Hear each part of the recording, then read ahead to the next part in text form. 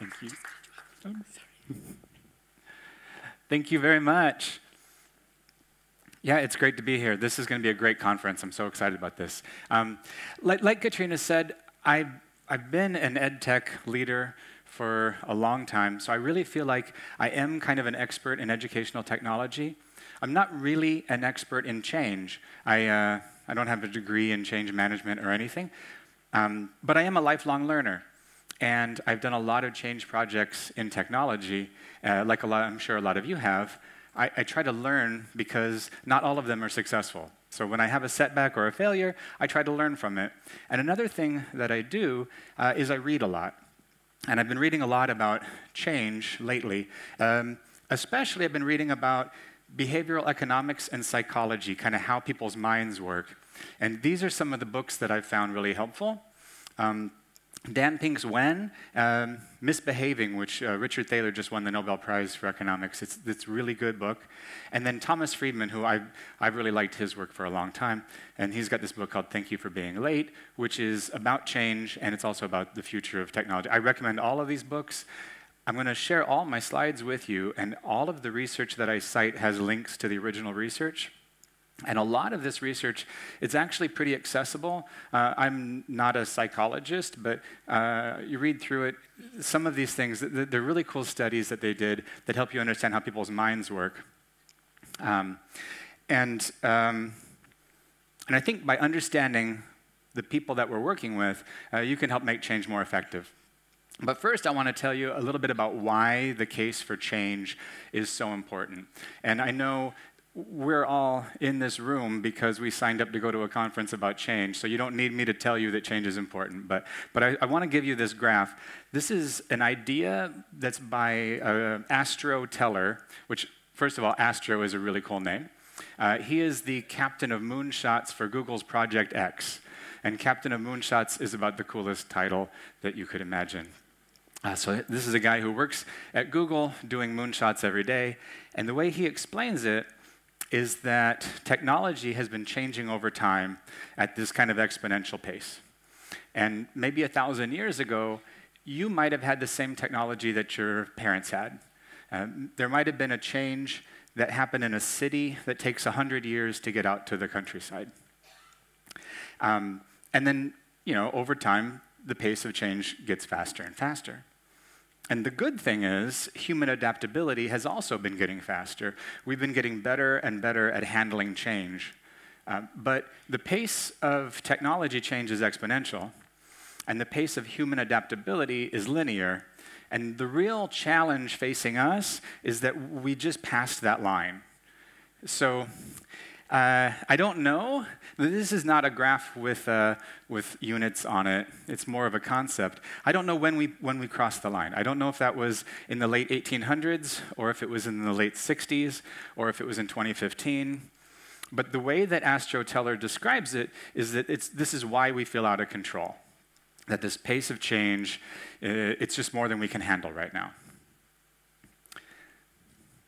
And I think, and I'm, I'm going to make a bold statement that I might be embarrassed by five or 10 years from now, but I think that getting us all more adaptable and more comfortable with change is the number one most pressing problem facing society right now. Um, I think that we can bend that line. We can get ourselves higher. We can, we can become more comfortable. We can increase our adaptability.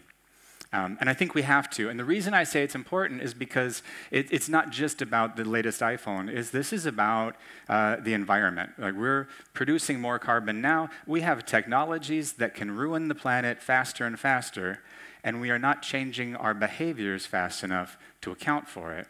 But it's also uh, the technologies are going faster than government. So we have self-driving cars but we don't have the laws or the traffic lights that can handle what's going to be happening on our roads when we all have self-driving cars.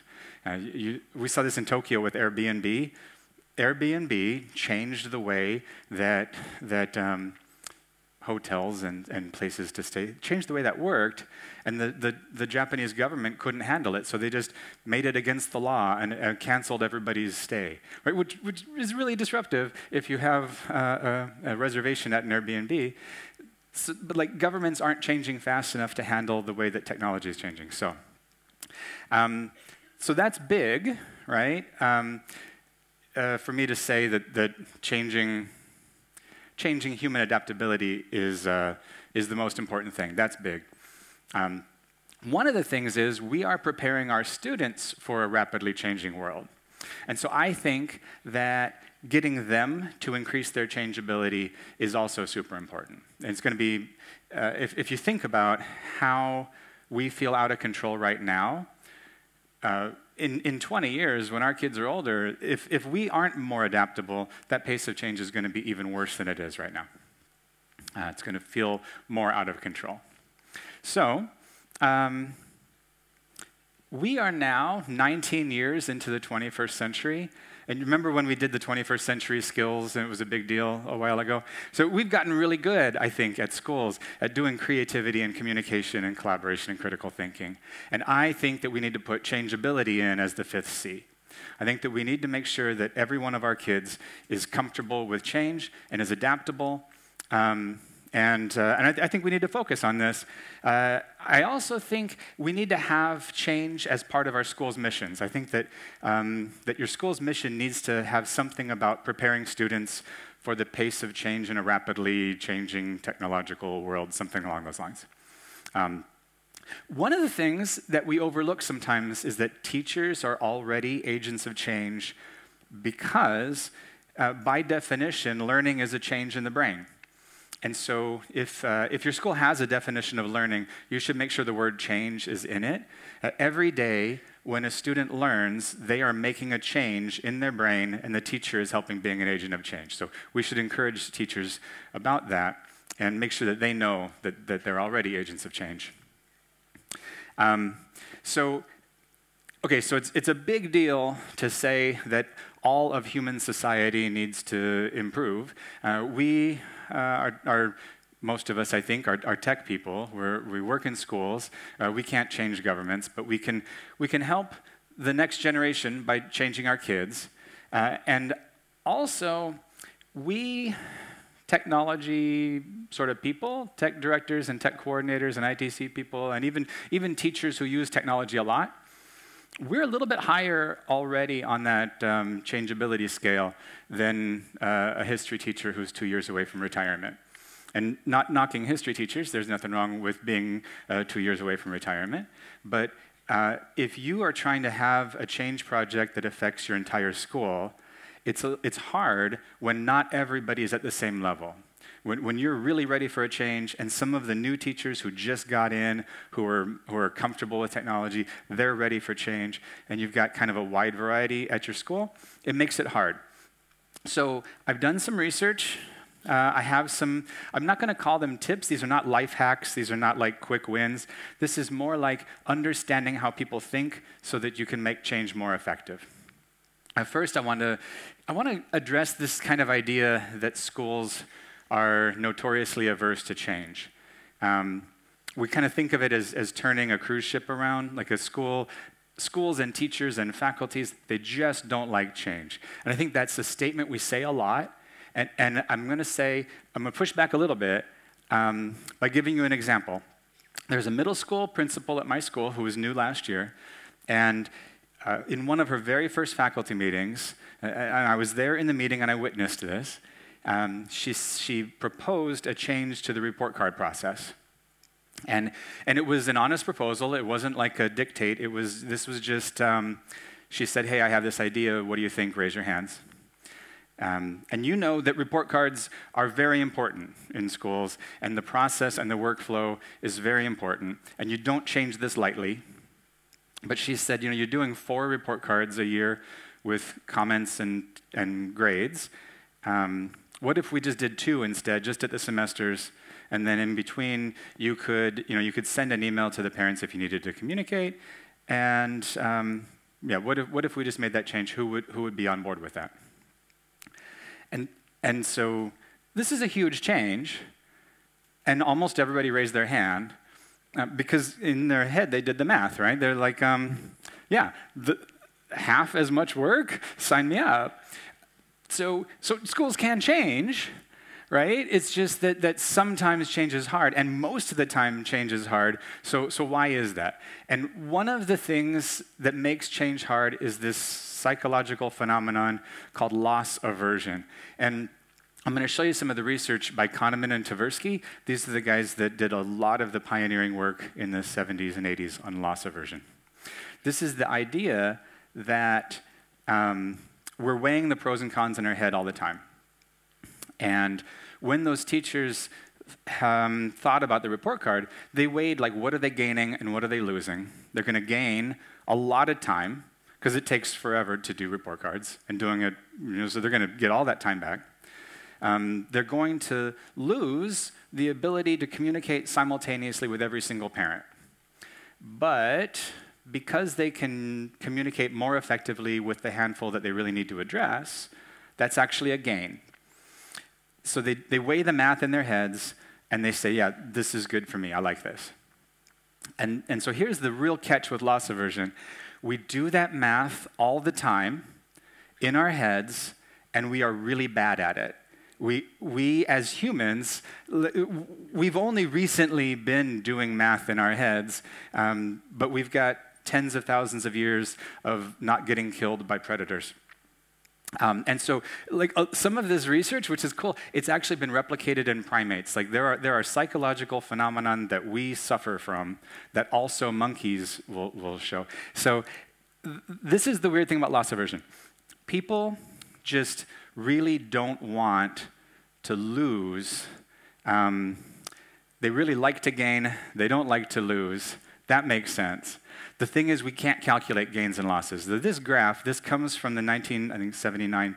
There's a link to this article if you want to read it. Most, what I think is really cool about scientific research these days, almost all of these, you can get a PDF online that you used to have to get from the library, from a, a an official scientific journal. Like almost all of this, you can just read it. So these guys did this math, and uh, it's replicated a bunch of different ways. You give people a little bit of money, uh, you take away some money, you give them a marshmallow, you give them a coffee cup, whatever, and then you, you count it up and you ask them how happy they are. Um, it's, it's a really cool study. It, uh, a lot of it is done on um, male college freshmen taking psychology classes. So there, you know, you, you, it's replicable, but you have to consider that. Anyway, so they measure this thing called value, which economists also call utility, but it's basically happiness. And you give some people some gains, and what you find is that they like gains. And so this is not surprising. But the surprising thing is that it's this, it's this curve. Um, people like $10, people like $100 more, but the difference between 100 and 110 is not as much as the difference between 0 and 10.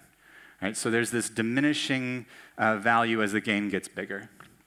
And the other weird thing is that it's not about, the way they say this is not about the change, it's not about the level, it's about the change. So if you make a lot of money and you drink a lot of coffee and someone gives you a Starbucks card, you would think rationally you should say, this is a statistically insignificant gift, um, given how much value this has. But instead, you say, wow, free coffee, awesome. And that's because you went from not having free coffee to, to having free coffee. And so that, that change in, in level is what makes you happy. Uh, it's kind of the same thing when you, you're in a room that's a little bit too warm or a little bit too cold, but you don't really notice. But when you walk from one to the other, you really feel it because you feel that rapid change. So that's kind of this, this curve that they measure this, this curve. Here's the weird thing, right? People hate losses, that makes sense, but they hate losses about twice as much as they like gains. So a $100 loss should hurt exactly as much as a $100 gain helps, but it doesn't. It hurts twice as much.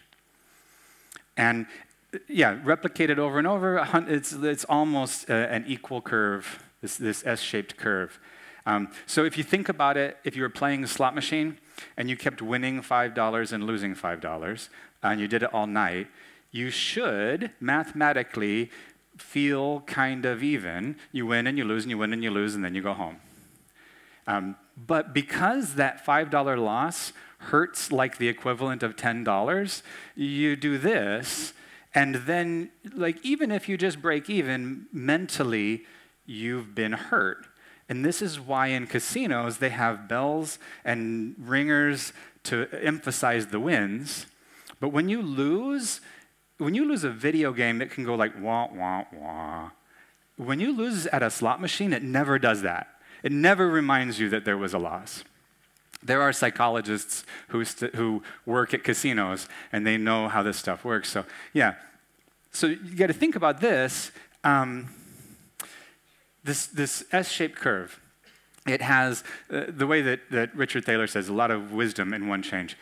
Life is in terms of changes, there's diminishing sensitivity to gains and losses, and losses sting more than changes feel good. So if you do a bunch of changes and it's all even, all the pros and cons even out, you might in your head say, yeah, everything is a wash, but everybody at your school is feeling an overall, um, an overall loss. You have to make your changes have a net two times more positive just to break even. That's hard. Um, so, and that's just loss aversion. There's also this thing called endowment effect. And this is the idea that people like what they have even if they only had it for a few minutes. And there's, there's some cool research that's been done. Uh, again, Kahneman and Tversky, but also Richard Thaler, they did some research on this. And the way they do this, they give people, uh, half the people get coffee cups and half the people get a ballpoint pen. And then they hold it in your hand for a little while. And then you offer to buy it back or to trade for a pen. But um, the value of having a coffee cup um, is much more than the worth it would be to get a coffee cup. This, this thing that once you hold it in your hand and you have it, you like it so much, it's worth more than if it was just an option. It makes no sense at all. It's a completely ridiculous thing. Uh, it shouldn't be that way, and, and it is, and it's replicable.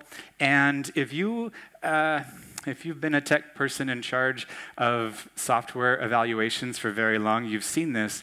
Um, this new pricing model, um, and there used to be a time when someone would say, We need quiz software, and then you would evaluate some quiz software and you would find one that was good, and then you would help everybody use it. And now, teachers sign up for a free account. They tell their friends they all sign up for a free account, and then you get an email that says, Oh, there's 20 of us with a free account, and now it's telling us that we can't upgrade. So, can we buy a site license? And then, up, and you're like, Oh, wait, I, we didn't even know about this. Everybody's using this.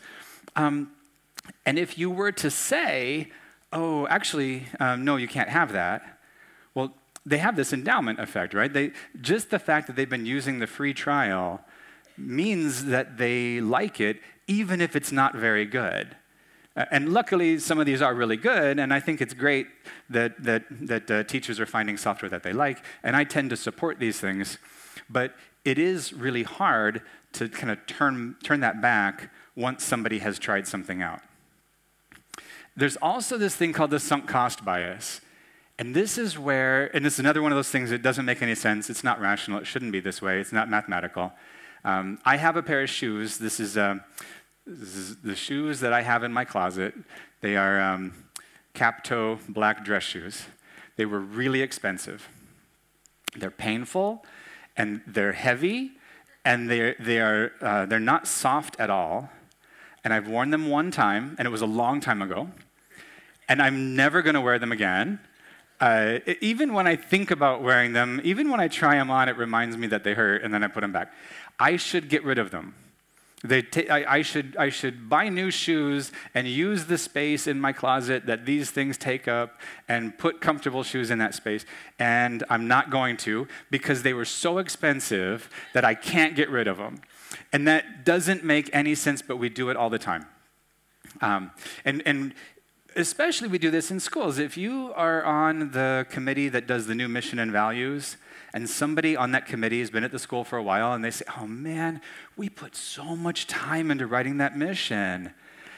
And yeah, they did, but if it's time to write a new mission, it's time to do that work. And you can't let that sunk cost of all the time we put into it be the factor that tells you that we're not going to do the new thing. It doesn't mean you have to mean about it. You don't, you don't say, well, this mission sucks and all your work was, was stupid. Um, you know, you have to embrace that. So these three things, they work together to make change more difficult in schools than it would be if we were all totally mathematically reasonable. Um, I'm going to share an example, um, and it's funny. Adam and Archer and I were talking about switching to Gmail this morning. Uh, a lot of you have probably done this. Switching from Outlook to Gmail, uh, it's, a, it's a technically really easy change to make. It's, um, uh, there's, there's people that can help you with it. You can do it on your own. Uh, it's, it's easy. When I did this, uh, and it was a while ago, but um, I did the pros and cons. I calculated it all up. We were running an Exchange server on campus, and so we were going to have secure offsite backup. We weren't going to have servers anymore. Somebody else was going to take care of it all. We actually, you could only check your mail on campus right? We had a system in place that only worked when you were at school, um, and we were going to be able to have email anywhere. Which just sounds stupid now that there was even a time that you couldn't check your email from home. But okay, we were going to do that. We were giving Microsoft $30,000 a year. And we were going to switch to Gmail, which is free. So we're going to save a huge pile of money. And we were going to get everything from the G Suite the, all the collaborative editing, all the Google Docs. Um, and unlimited storage. We used to send an email to people that says your inbox is almost full, you have to delete your attachments. Um, and we were going to not have to do that anymore. A- and we had a bunch of teachers who had Gmail for their personal accounts anyway. And so it's going to be the same interface. You already know it. It's better than Outlook. So, no brainer. There's no downside. And this one person, and she wasn't a teacher, she was a non teaching staff member, but she said to me, you mean I'm going to have to stare at this ugly white screen all day? And I'm like, oh, that's okay, yes, but that's the only loss. This is, there's, there's almost zero downside. Um, and also, uh, uh, Outlook is not an attractive interface. Uh, Google has really good graphic designers, and it's a superior platform. In almost any way, Google Calendar is better than Outlook Calendar. And actually, this was a while ago, so it looked more like this. It wasn't quite as pretty as it is today. Um, but she, she really loved her Outlook Calendar. And um, she was really opposed to this. And it took me a while to figure out, um, after I've been doing all this research, I, I realized she's got all this stuff going on in her head. She, she, it's not just that she's losing that familiar blue color, right? But she has this endowment effect. If we had been switching from, uh, from Gmail to FirstClass or from, from FirstClass to Outlook, whatever, it would have been the same thing. It was the switch, it was the loss, the endowment effect of having that thing she's familiar with. But she's also got a loss in the time it's going to take to learn a new system. And in my opinion, at the time, calendar is very intuitive. Uh, they all work pretty much the same way it's not that much time to learn. But to her, it was going to be an investment of time. She had invested, she had a sunk cost in all the time that she put into knowing exactly how to add a calendar event. And now she has to learn all that over again. So she's losing a lot of time. Um, and she also had this feeling that there were going to be other losses. She, she didn't know exactly what it was, but she knows that there are things that you can't do in Google Calendar. And her example was overlaying two people's calendars at the same time when you're trying to find out what time the meeting is. She, she knows it's not the same. Um, and so she was just worried about that loss. So when she did the math in her head, she didn't care about the on site backup. She wasn't in charge of the servers. She didn't want to do her email from home. She wasn't paying the budget.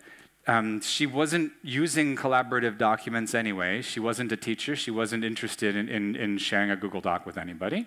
She didn't have a lot of storage. She never had to worry about. And in fact, I think she kind of would like it if she had to every now and then tidy up and delete her attachments. Um, and she didn't have Gmail at home, so it wasn't a familiar interface. So none of my gains matched hers, and all of her losses were bad. So she thought this was the worst decision ever in the school. And um, so you have to remember when you make a, a change that every change is a loss to someone. So I think about her a lot. I, I think when I'm about to make a technological change, when I'm about to make a new project, who are the people who are going to be really hurt the most? What's going on in their head? What are they thinking? How can I reach out to them and mitigate their loss? How can I figure out how to make sure that they appreciate the gains? And you know, communicating those gains, that's a big part of it. Um, and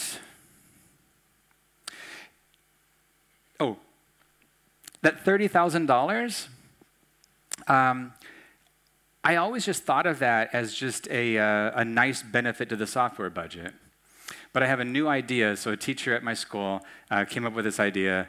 What if I had taken some of that 30,000 and bought everybody Starbucks, right? To say, hey, we're switching, we're saving money, here's some.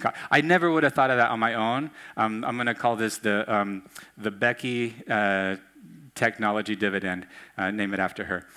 We just, um, I don't know if you use lynda.com. It's great. I love lynda.com.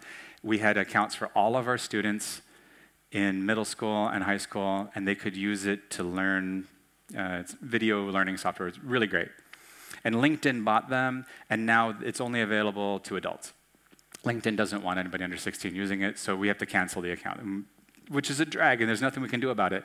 But it costs us 7,500 US a year. So I'm going to take a little bit of that money, and I go through all of the analytics and figure out which teachers have been using it, and I'm going to give them all Starbucks cards and say, uh, yeah, sorry about this. It's not a nothing we can do, but this is going to help a little bit. As I, I think that's kind of fun. Anyway, every change you make is a loss to someone. And the more you can build a case for change, the, the less of a hurt it'll be. Uh, so, two more cool things that come out of psychological research. So, this thing called hindsight bias, this is really pernicious.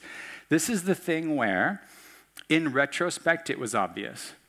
Uh, you propose a change, everybody thinks it's a good idea, and then the parents all hate it, and everybody says to you, Well, of course the parents hate it. What were you thinking? Um, my example on this one is we changed learning management systems. And we had a bunch of teachers design the rubric. Um, what are we trying to do? We did focus groups, like what do we not like about our current LMS? What do we want in the new one? And they want, they want it to be easy, and they want it to be, uh, um, they want to have photos in it. They want to have the kids' photos. They want to have a grade book. They want it to support standards-based grading. Well, they had a, a, a, pretty good list, and we used that rubric to evaluate a bunch of systems. Uh, we landed on one, we were using it for a while, and about three months in, uh, somebody says, You mean you can't put bullet points in a comment? That's ridiculous. They're like, Who, who, who approved this? Like, bullet points in a comment was never one of the original things on the rubric. We weren't even thinking about bullet points in a comment. See, but you have to have kind of thick skin about that and say, I know that people are going to, in retrospect, think it was a bad decision. So you can do whatever you can to, to try to think it forward and to try to make sure that you've covered all your bases, but people are going to think that. The really horrible thing about hindsight bias is that we all do it. Um, and we don't recognize it in ourselves. So other people do it to us and it hurts, and then we do it to other people and we don't know we're doing it. And um, I think that trying to build a culture where we recognize that this exists, just be aware of yourself and not attack people for making a change that nobody could have seen coming. I think we should get past this hindsight bias. Also, it helps, mm, it hurts, it hinders um, when you are trying to learn from your mistakes and you feel like you should have seen it coming, you're not quite as self-reflective. It makes it harder to be reflective if, you, if you're letting hindsight bias cloud your judgment. So, it, but it's hard because it's built into our brains and it's difficult. Um, this one, this is, this is one of my favorites. This, if you have a chance to read the Wikipedia article on hyperbolic discounting, it's fun. Um, there is this idea, this is, this is the thing that explains why rapidity of change is, is a big deal, why, why, things, um, why things hurt more when they go fast. Because time is more valuable now than it is in the future. uh, an hour on Monday is a lot more valuable than an hour on Monday in a month. And that doesn't make any sense because an hour should just be the same value. Um, but these uh, O'Donoghue and Rabin, they did this, um, they call it the beta delta model. It, they can measure, like they ask a question, would you rather have a dollar now or $3 tomorrow? Uh, and most people would rather have a dollar now. But if I say, do you want a dollar uh, in a month or $3 in 32 days, they'll take $3 because they can wait another day that far away.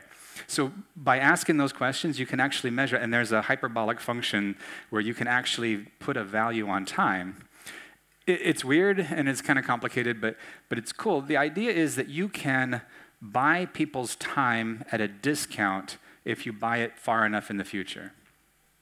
Um, and then by the time the, it comes due, it's already on their calendar. They're, they're stuck with it. You, you've purchased a valuable chunk of time, but you've done it in advance, and, and you get to pocket the savings. It's, it's a weird thing. Um, here's uh, the way that I use this in schools. There's a, there's a, um, there's a feeling that you get that you need to wait until something is perfect to share it. So you might, if you've got a two year long tech project, you're going to switch student information systems or whatever, and you're working on it, you might put your head down and work really hard for 18 months. And then once it's ready to share out, then you send it to everybody. But then they only have six months to wrap their head around it. If you start the clock ticking at the very beginning, then you're buying their time two years from now and you're saying, uh, hey, this thing's coming. We don't know how it's going to work. We want your input. Here's a survey. What do you think about the current system? Do you have any advice? They all know this is coming, and you say this is coming in two years, and then you send out reminders along the way. It's the same project, but because you're buying the time down the road, the, the rapidity is a lot less and the hurt is a lot less, and people don't mind it as much. It's, it, it, yeah. It builds the case for communication. Um, I'll tell you a funny story. I don't know how funny it is, but I'll tell you a story anyway. Um, actually, that was probably funnier than the story is going to be. Um, I sent an email out about a change that was coming uh, in 13 months. And the teacher caught me in the hallway and they said, Oh, I just got your email. This is, this is happening in February? And I said, Oh, yeah, but it's February next year. He said, Oh, my God, thank you. Oh, good. Because February is so busy around here. yeah, you get it. It's, all, it's going to be busy next year, too. But he has now, he's got a year to wrap his head around it. It's not going to hurt so much. So it's, it's the exact same change. It just, uh, just time in the future is cheap. Um, so, so you have to build the case for change that helps people get the gains and losses right in their heads. And you have to communicate it. And I think one of the best ways to communicate a change is through data. And I'm a, a, a kind of a data nerd. I really love charts. I like graphs. I like data. Um, and um, I think if you are not really comfortable with data, it should be your next PD uh, goal. I think that there are some really good edX classes. There's some lynda.com classes. If, um, uh, if you go to the board or to a team of uh, leadership team with a change and you say, uh, you know, all the teachers are saying we kind of need this thing, or a lot of parents have been saying, like, a, a good school board will say, oh, really, a lot of parents? Uh, what, what's the number? Give me a number, make a graph. So if you can go to them with actual hardcore survey data, you build a case for change a lot more effectively. Um, and Google Forms makes it very easy to do a survey and then get a graph that is very bad. It, it's automatic. It's, it's super easy.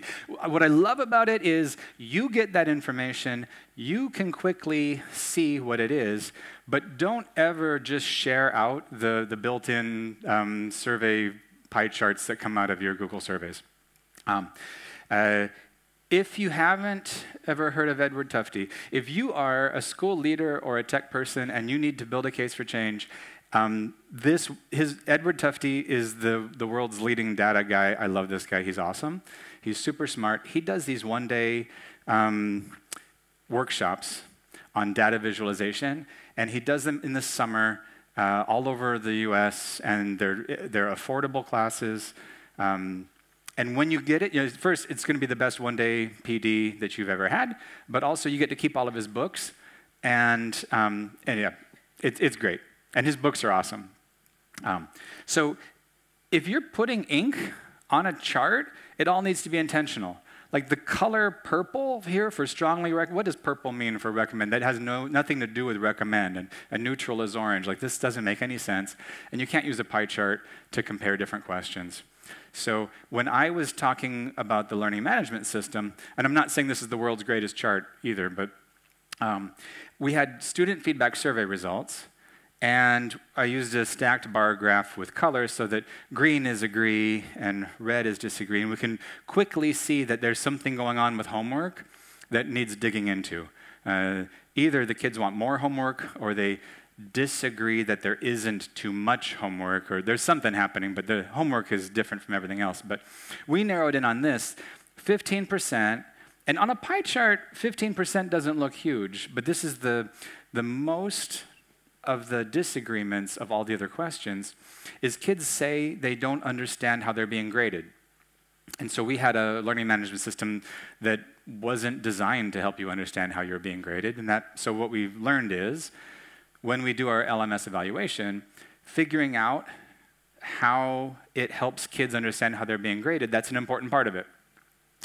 Uh, and we also, in a different survey, found out that kids don't feel like they belong that, that they, um, there's this disconnect between adults and kids at the school, and 43% feel like they belong, uh, which is not enough. And it, compared to um, compared to other schools who do the same survey through Panorama, uh, this was a problem. We identified it as a problem.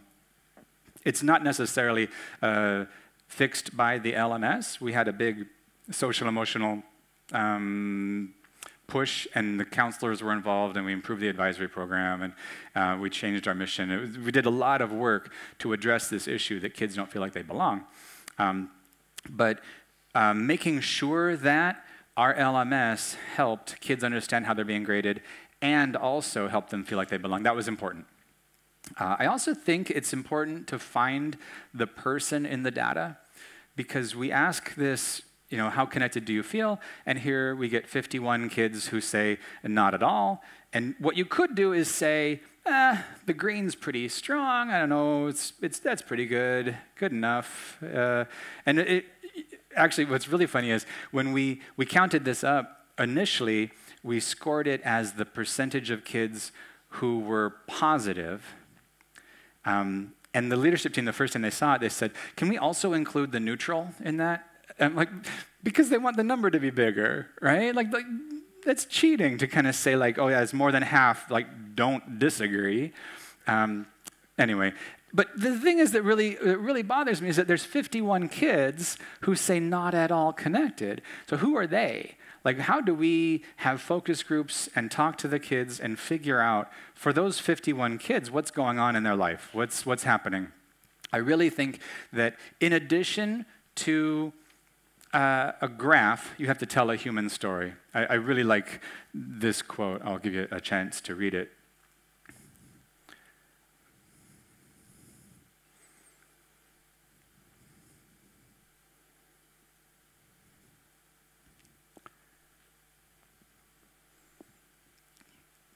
It's the idea of the difference between a statistical life and an identified human life. And so when we were making our graphs, when you're telling the board, like, this percentage do this and this percentage do that, what you can do is find the human in it. I'm going to give you an example of, of, uh, of the way that graphs can do this. I took the data from the US Department of Mines Safety and Health Administration. Um, and so from 1900 to 2017, the number of deaths per year in coal mines has come down a lot. Back in 1907, it was the most dangerous year for coal mining. Like over 3,000 people died in coal mines.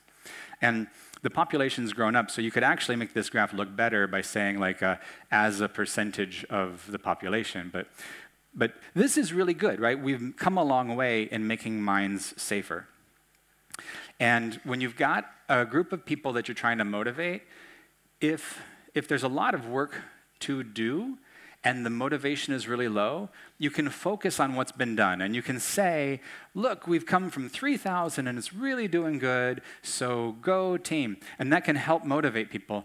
But when your team is already motivated and you want to focus on the work ahead, what you should do is zoom in on the work that's remaining. And so what I really like about the, the Mine Safety and Health Administration is that they act, so they do focus on the work remaining. On the graph on their website, it's this. This is just from 1978 to 2014. So they're looking at, and this is an improvement.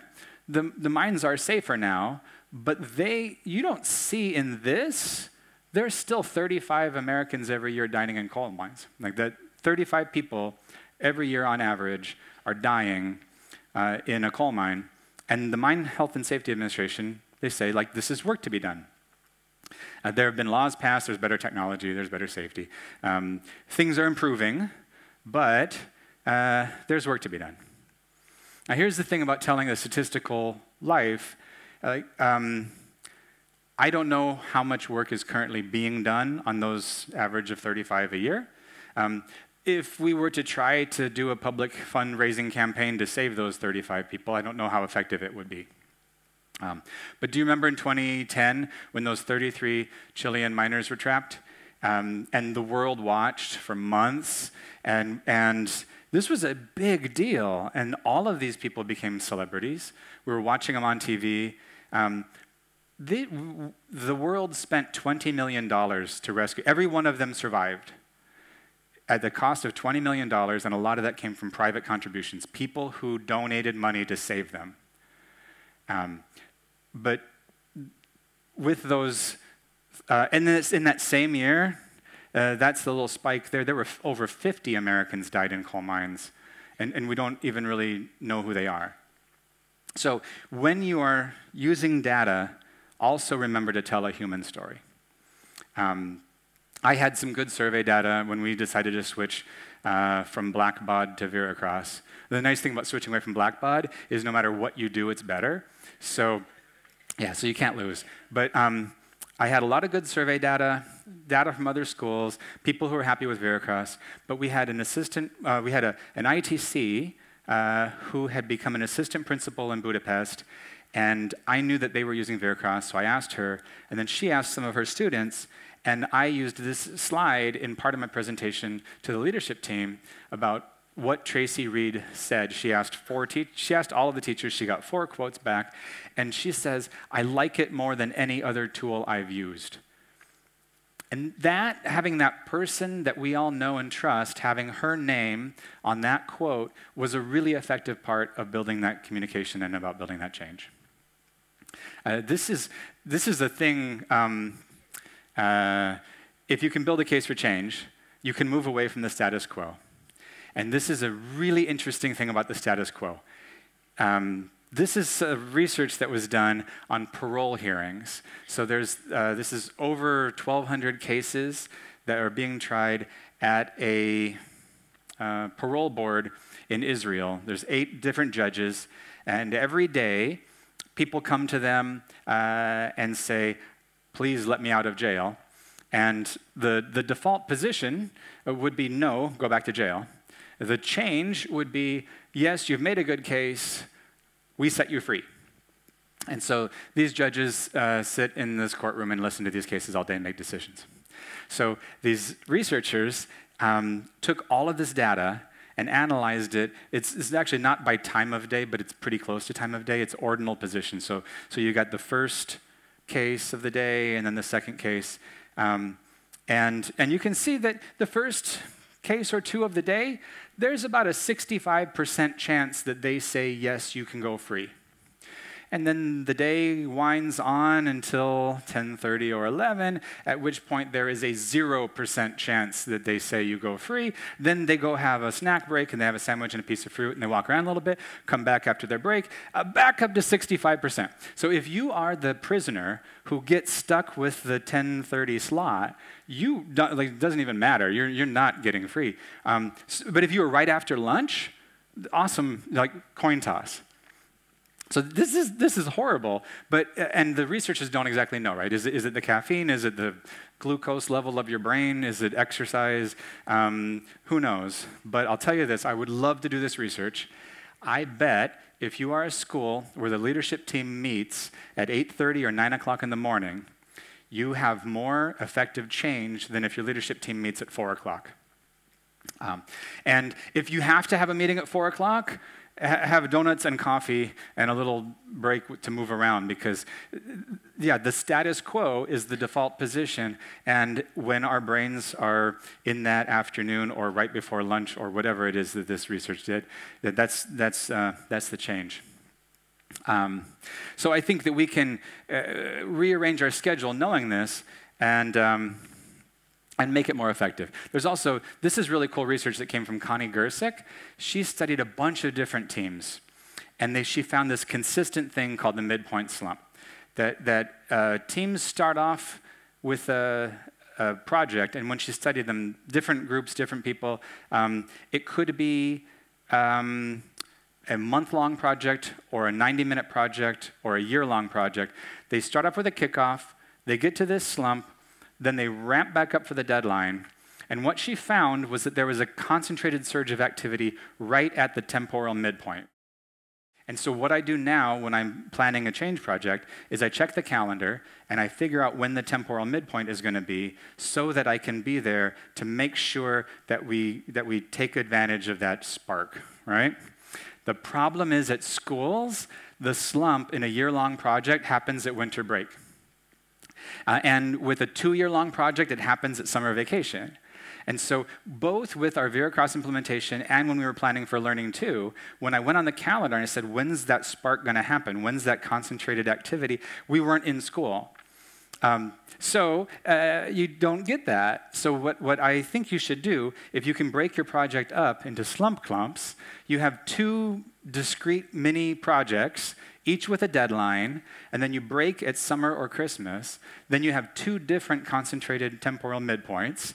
And when you do that, you'll have a whole lot more total activity, and you also get to rest your brain a little bit more over the break.